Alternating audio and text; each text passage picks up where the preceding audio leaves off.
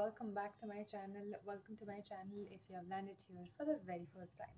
Hope you subscribe to my channel clicked on notification bell so you don't miss out any further updates.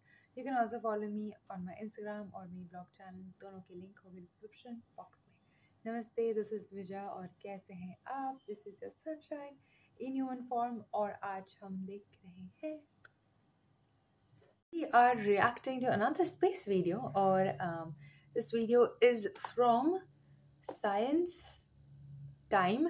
A lot of you guys did ask me to do this video after we did the Drew's space video. So we are doing how big is the universe?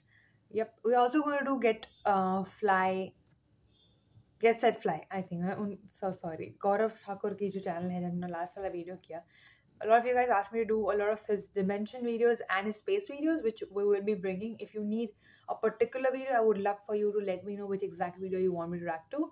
Or else i'm going to choose my own video and then in the comment section you'll be like oh no you should have done this video. Let me know the video. Please i would love to do more of his videos. I did enjoy it though. Yep. Okay let's go and see how big is the universe. Playing excited about this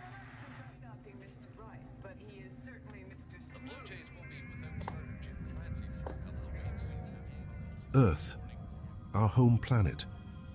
A tiny blue dot floating in the immense cosmic ocean. Here resides everyone you ever knew, every human who ever lived, every story that was ever told. It's where our journey begins, but as we zoom out, beyond our atmosphere, past the moon, beyond the familiar planets and the sun, we embark on an epic quest, a quest to grasp the true scale of our universe. As we leave Earth's embrace, the first marker on our cosmic journey is the Moon. Moon.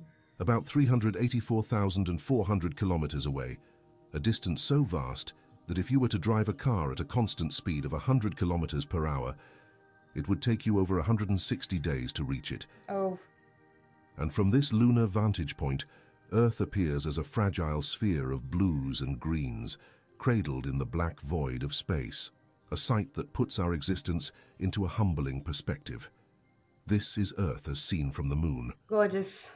As we continue our outward journey, the next milestone is the Sun, lying approximately one astronomical unit away from Earth. This unit, equivalent to about 150 million kilometers, is the standard measuring stick for distances in our solar system. Imagine this, light, traveling at an astounding speed of 300,000 kilometers per second, takes about 8 minutes and 20 seconds to journey from the Sun to Earth. If you were to travel this distance in a commercial jet, flying at 900 kilometers per hour, it would take you about 19 years. This immense distance is a stark reminder of the vastness of space, even within our own solar system. The Sun, a fiery behemoth, provides life-sustaining energy to our planet from this incredible distance. Venturing beyond our home planet, and its solar companion, the Sun, we set our sights on Mars, our enigmatic red neighbor.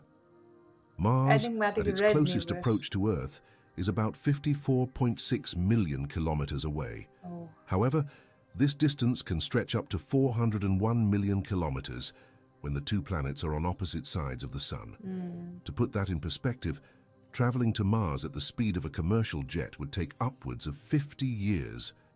This vast expanse of space between Earth and. Mars has been a significant challenge for space exploration. The rovers and probes we've sent to the Red Planet embark on a journey that is not just far, but fraught with complexities due to the constantly changing distances and orbital dynamics. Oh. As we journey to the outermost reaches of our solar system, we encounter Neptune, the distant ice giant. Lying roughly 4.5 billion kilometers from Earth, Neptune marks the edge of our solar neighborhood. Sunlight, racing across the vacuum of space, takes about 4 hours and 15 minutes to reach Neptune from the Sun. This staggering distance showcases the enormity of our solar system. Launched in 1977, Voyager. The Voyager 1 space probe represents humanity's insatiable curiosity and our desire to explore beyond known boundaries. As of now, Voyager 1 has traveled for over four decades, covering a staggering distance of more than 22 billion kilometers from Earth. It's the farthest human-made object from our planet, a silent wanderer in the cosmic sea. In 1990, at the suggestion of the renowned astronomer Carl Sagan, Voyager 1 turned its camera back towards Earth for one final photograph. This resulted in the iconic pale blue dot image. At a distance of about 6 billion kilometers from Earth, our planet appeared as a tiny, faint dot in the vastness of space. Sagan poetically reflected on this image, emphasizing our responsibility to cherish and preserve our only home, a small speck in the immense universe. At the very fringes of our solar system lies the Oort cloud, Or a vast cloud. theoretical sphere of icy objects. This distant cloud is thought to extend up to a staggering 100,000 astronomical units from the Sun. That's about 1.9 light years, a distance so immense that it's on the cusp of interstellar space.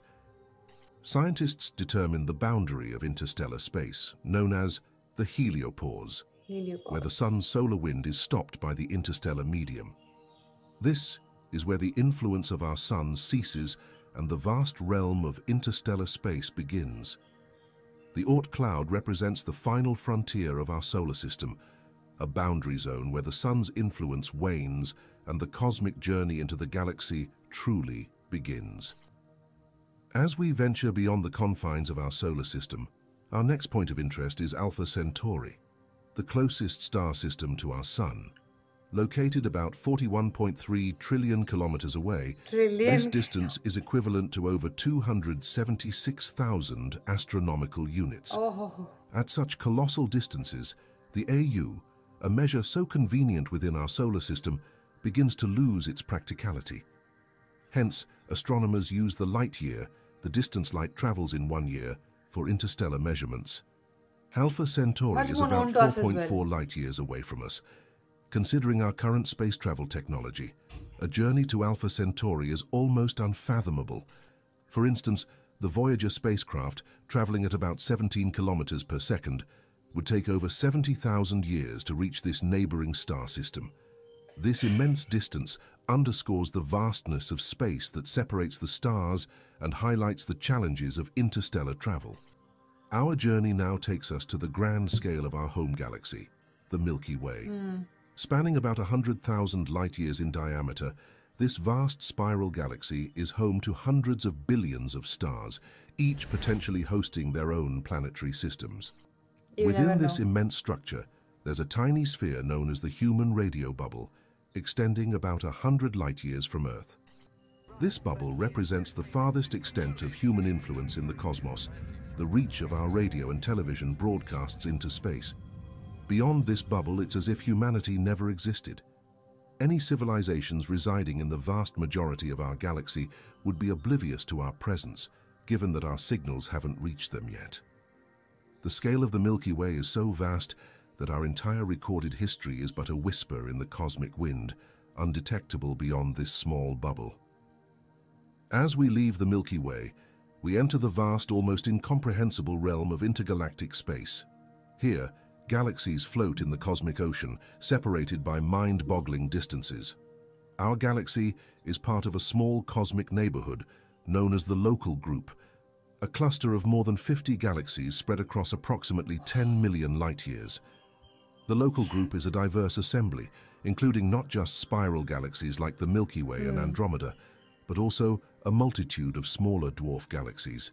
The distances here are so vast that light from one end of the local group to the other would take 10 million years to traverse.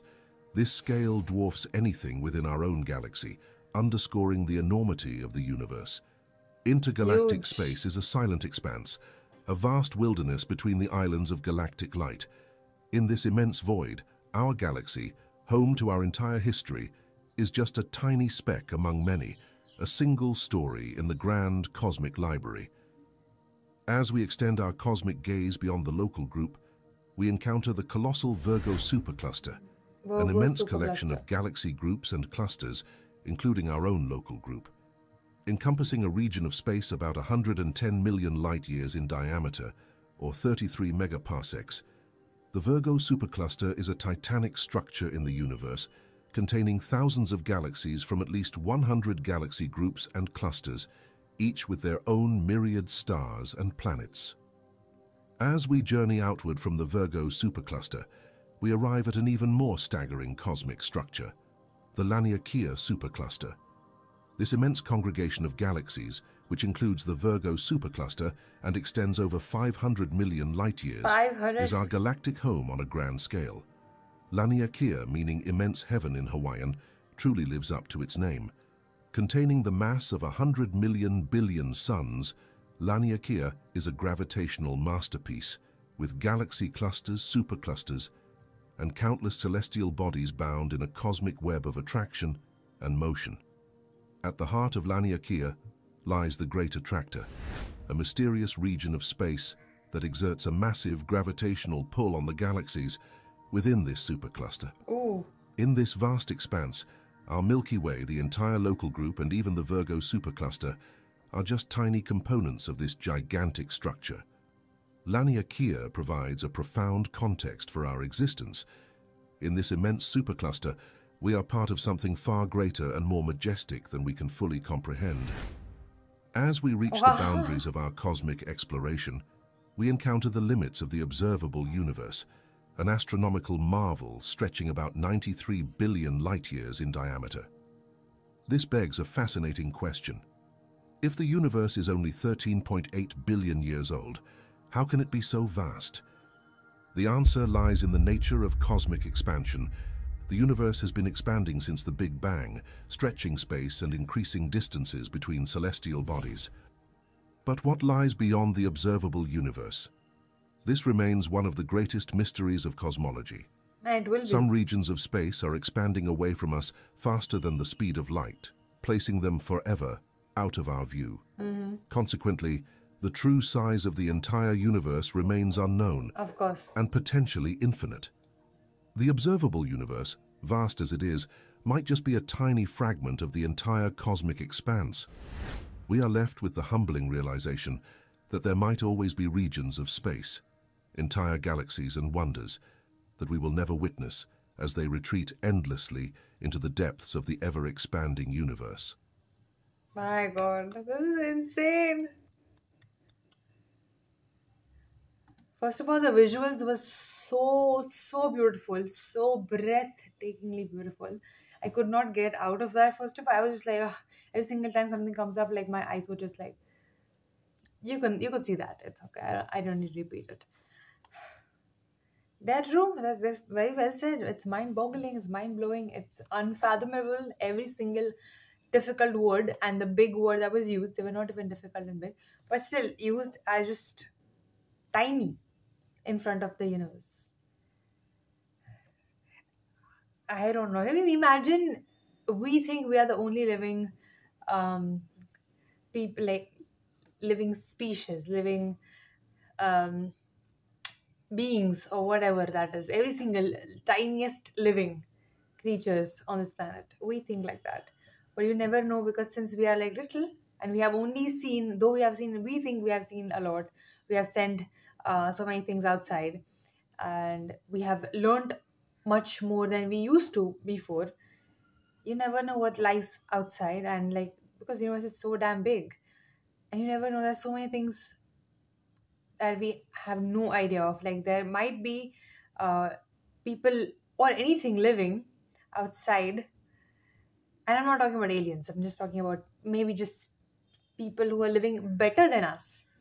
More better technology. Like i, I don't know. Everything is a mystery. So like it gives you such an open end for you to like think discuss fantasize.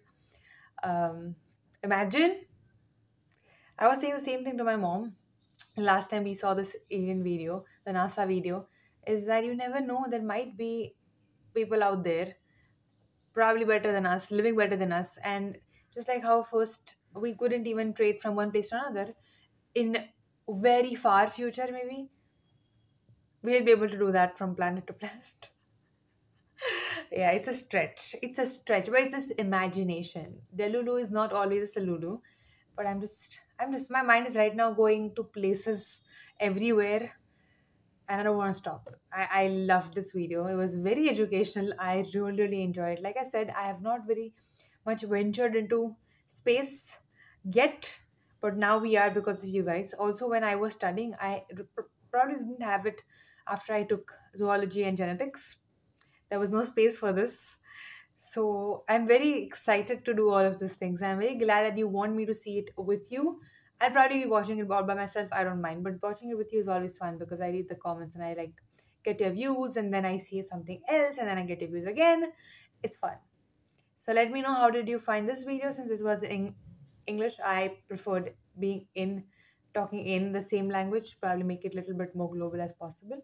But I'll be back anyway. We'll be doing everything that we enjoy and you enjoy at the same time. I'll see you guys next time. Bye, berries. Love you. Let me know your thoughts in the comments. Bye.